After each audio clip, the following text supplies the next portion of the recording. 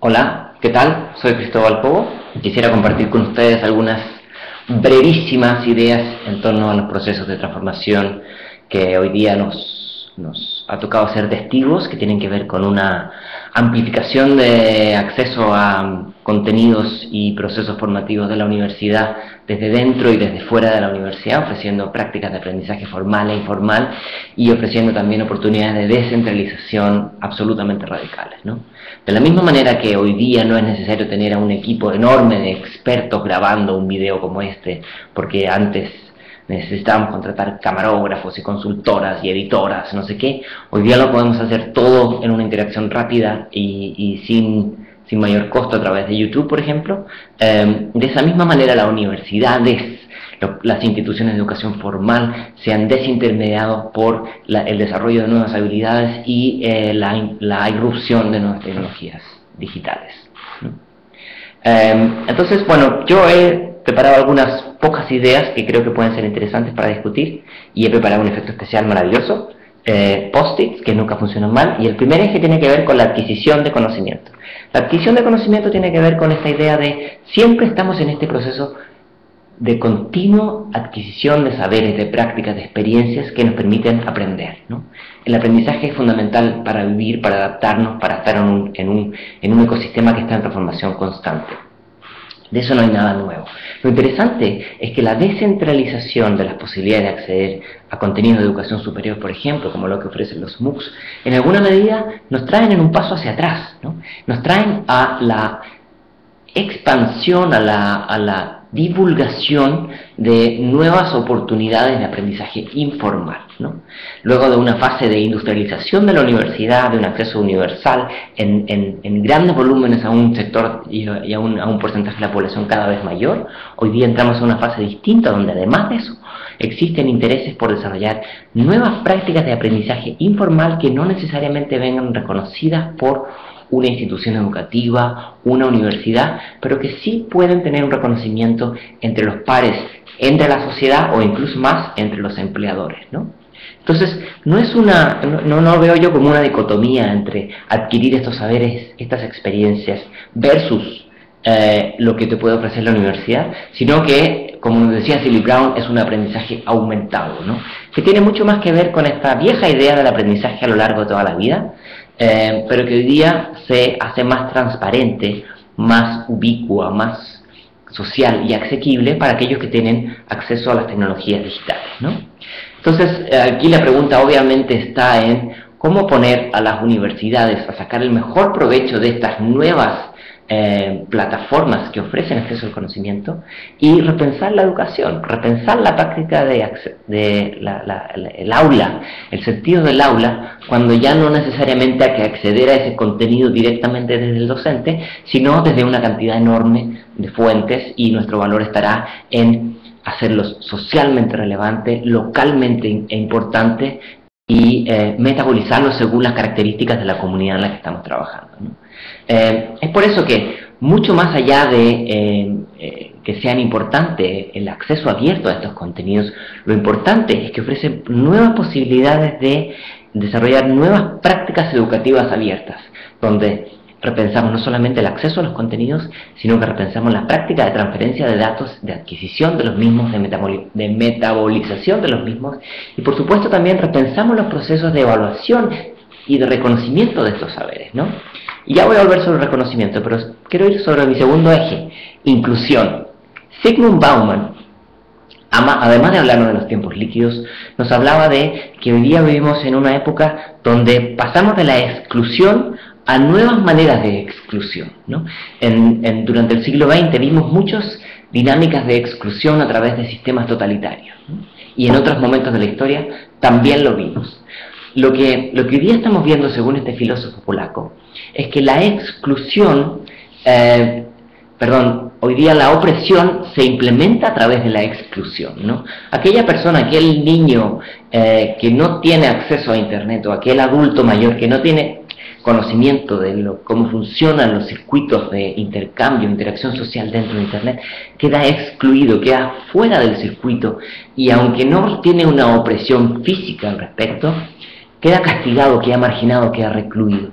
Lo mismo puede ocurrir si hacemos una, una, foto satelital del planeta y vemos dónde están los principales focos donde se consume Wikipedia, Facebook, YouTube.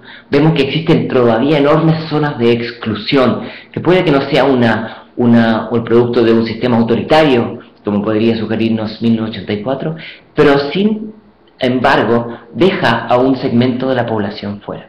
Entonces, aquí el tema del acceso juega un papel fundamental, porque puede convertirse en un factor de inclusión, pero también existe un segundo acceso, que no es solamente el que puede acceder a estas redes sociales, acceder a los contenidos o a los recursos educativos o a los programas que ofrecen los MOOCs, sino que aquel que cuenta con una batería de conocimientos, habilidades y competencias que le permite sacar el mejor provecho de ellos. ¿no?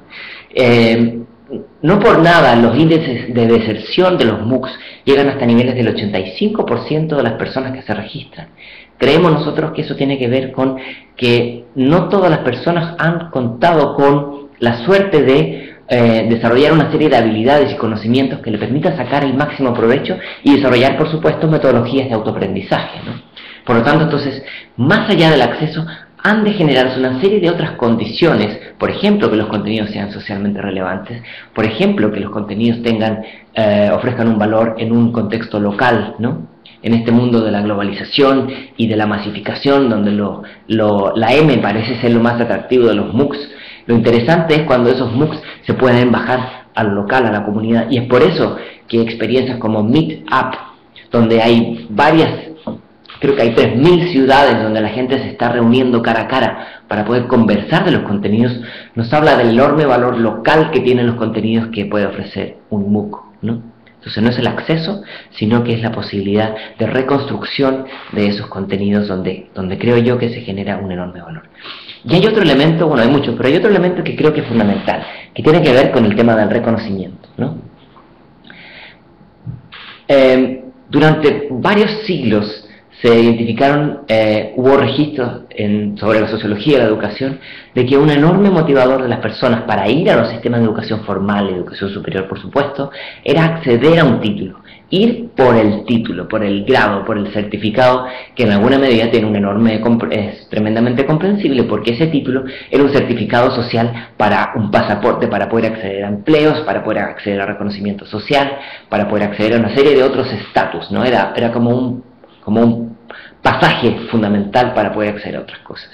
Hoy día en una época donde más personas acceden a la educación, a la educación superior, algunos autores le llaman educación universal, puesto que hay más de un 50% de la población que accede en algunos países accede a la educación, entonces ese privilegio se, se desdibuja, se pierde, se transforma. ¿no? Entonces, el reconocimiento no estará solamente en acceder al título, sino que en poder reconocer una serie de otros aprendizajes que yo he desarrollado. ¿no? Incluso es más, estamos viendo hoy día en las comunidades geeks, muchas de ellas cercanas a los génesis de MOOCs, que se hicieron famosos, desarrollaron eh, enormes compañías sin tener esos reconocimientos de certificados profesionales. ¿Nos dice esto que los reconocimientos de los certificados profesionales no son útiles? No, pero probablemente nos dice que hoy día su valor se, desdibuja, se reconfigura. ¿no? Entonces, insisto, esto no es para quitar el mérito que puedan tener ciertos certificados sociales, eh, avalado por una universidad, pero de la misma manera que eso tiene un valor, hoy día más personas quieren buscar sus propias estrategias y sus propias trayectorias de aprendizaje a través de lo que le pueden ofrecer los MOOCs, porque a lo mejor no le va a dar un título que pueda ser reconocido por un determinado ministerio, pero sí puede dar un reconocimiento social que pueda ser reconocido ya sea entre los pares o eh, frente a un empleador. Y entonces es en estas otras dinámicas de reconocimiento, en estas nuevas monedas de cambio, donde se está generando una profunda transformación. Muchos de ustedes han de saber que la Fundación Mozilla está impulsando este movimiento de las medallas abiertas, estas medallas de los Boy Scouts, que se utiliza la metáfora para, para endosar, para reconocer los conocimientos de otros. ¿no? Que algunos dirán eso no sirve de nada, pero cuando una persona quiere buscar empleo, lo primero que hace es buscar una carta de recomendación de un par, para que atribuya fe, para que dé reconocimiento con los demás de su saber. ¿no? Entonces yo creo que hay, un, hay una profunda reconstrucción de las monedas de cambio que eh, vemos hoy día en una época de sobreabundancia.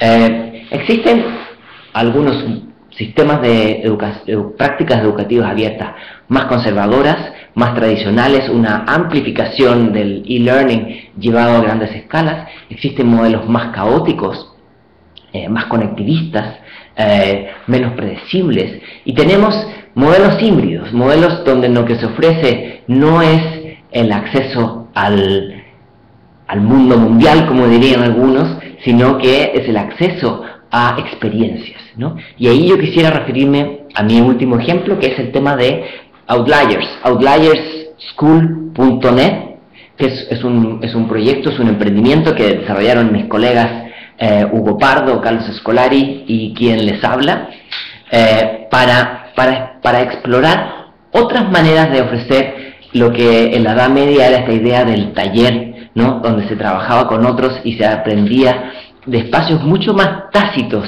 de, conversación. ¿no? Y voy a dar algunos ejemplos aquí. Lo que hacemos con, Outliers es eh, generar comunidades de práctica distribuidas en tiempo real. ¿no? Es decir, si bien no se pueden mirar a los ojos, se pueden mirar a los ojos a través de la cámara, que sin duda no es lo mismo, pero no es lo mismo que tomar un curso sincrónico con una enorme cantidad de PDFs que hay que descargar y leer en la soledad de un Starbucks o de tu casa. ¿no? ¿Qué es lo que hay detrás de esta experiencia que lo presento como un prototipo para, discutir, digamos?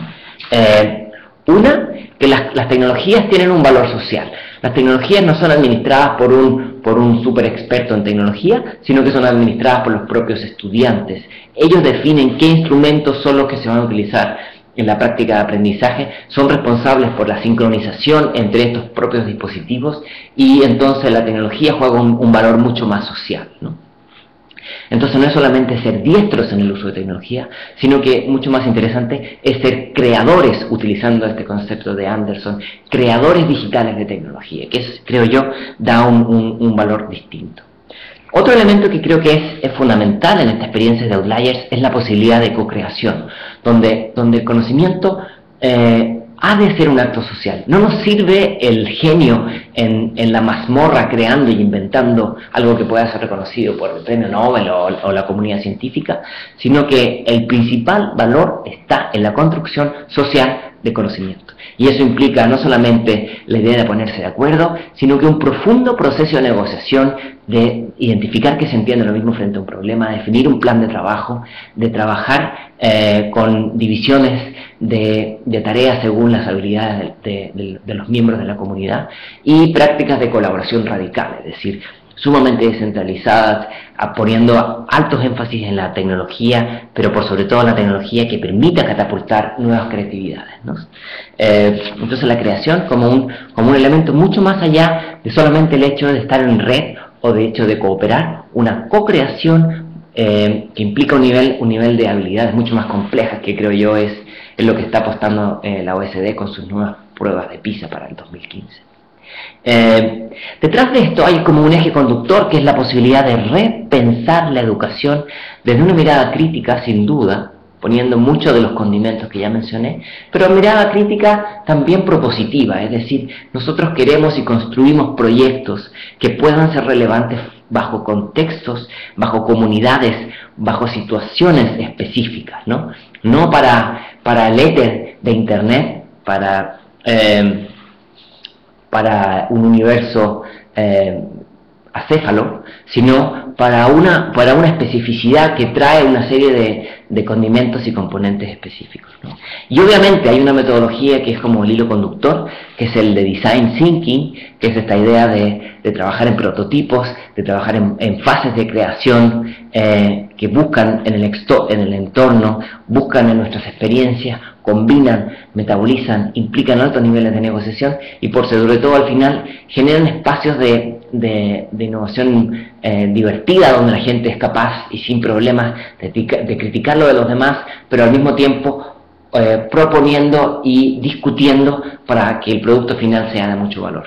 Eh, esto es algo que se utiliza en muchas escuelas del mundo. Eh, el aprendizaje basado en problemas se utiliza desde los años 70 en medicina en muchas universidades del planeta, pero creemos que se puede aplicar de una manera más divertida, más lúdica, más atomizada, eh, compartiendo experiencias y trabajando en conjunto. Yo creo que eh, en esa línea estamos hoy día viendo una explosión de nuevas oportunidades de aprendizaje, de nuevos reconocimientos, unas con certificados, otras sin certificado, pero creo yo nos dan muchas pistas de cómo será la educación de los próximos años. Muchas gracias.